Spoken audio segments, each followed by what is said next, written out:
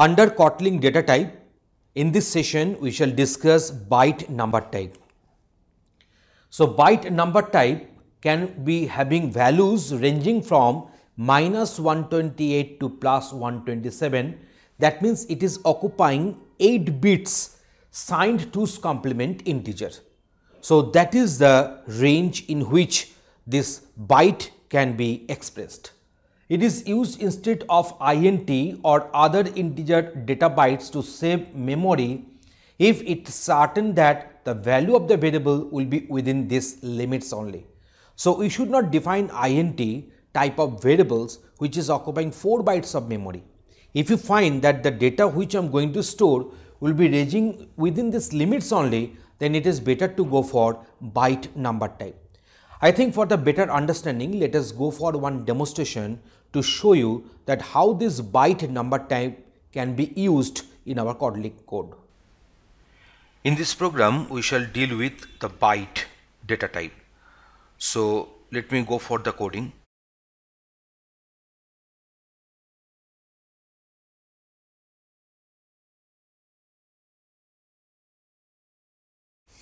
So we have written this code so here we have defined one variable that is a my byte and it is of the type my it is of the type byte and it has got initialized with 20. So if I execute my code it will give the value something like this.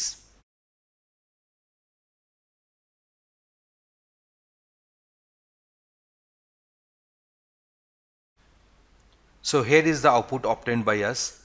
So we are getting the output as 20 here. So if we change this one as 50 then obviously the output will be coming as 50 because the value 50 is within this range. Because we know that in case of byte the range is minus 128 to plus 127. So 50 is falling well within the range. So that's why we are getting this value. We are supposed to get the value 50 as output.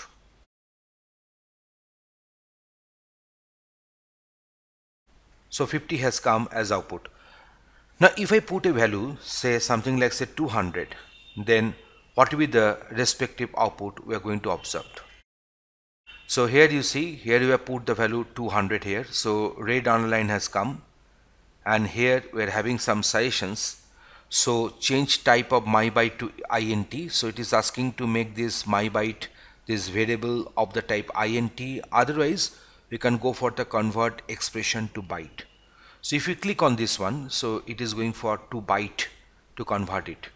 So now if I execute my code, then let me see what is happening.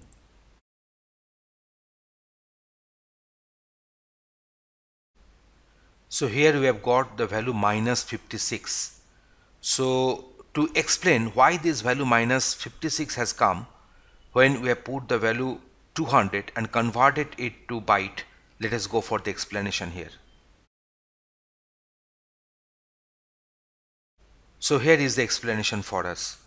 200 means 128 plus 72. 72 means 64 plus 8. So I'm just expressing 200 uh, just adding those terms which can be expressed in the form of 2 to the power of n. So 200 means 128 plus 72, 72 means 64 plus 8. So if I want to convert it to the respective binary, so we are finding this 128 is present and then 64 is also present but 32 is not present, 16 is not present in the sum in this particular terms and also 8 is present, 4 is not present, 2 is not present and 1 is not present. Actually I'm just converting this 200 to the respective binary. Also you can convert it by going on dividing by 2.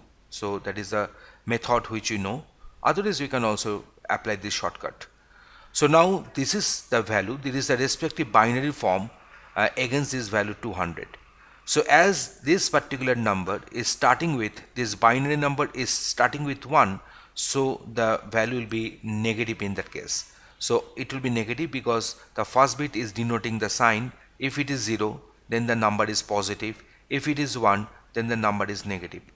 So as this number is negative, to get the magnitude part, I shall have to go for its 2's complement calculation. So it is our 1's complement, that means zeros have been replaced by 1 and 1 has been replaced by zeros.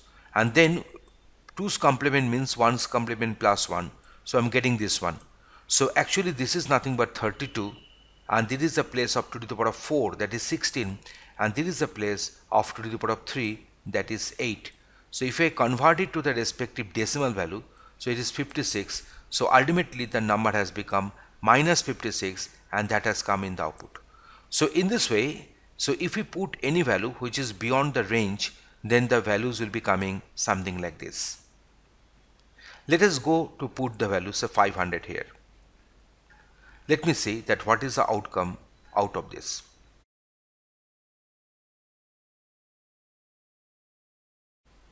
so it is coming as minus 12 so that can also be expressed and explained in this way